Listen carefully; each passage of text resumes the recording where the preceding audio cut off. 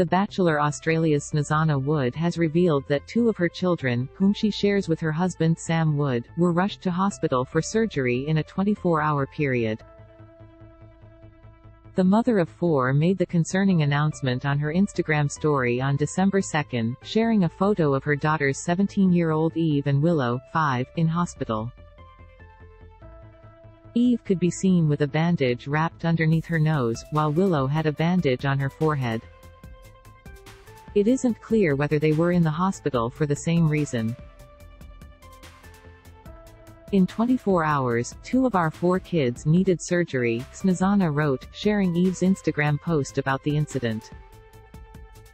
It comes after Snezana and Sam dealt with numerous emergency hospital visits for their youngest daughter Harper. The premature infant was first placed in NICU with an infection and later returned to the hospital in June due to a different infection that she caught from her siblings. After Harper was born, Snezana was also hospitalized after contracting sepsis. Wishing the Wood family a speedy recovery.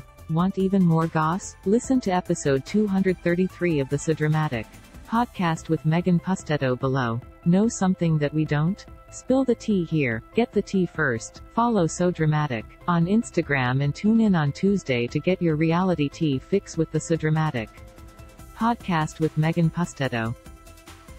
Jess Houston December 5, 2022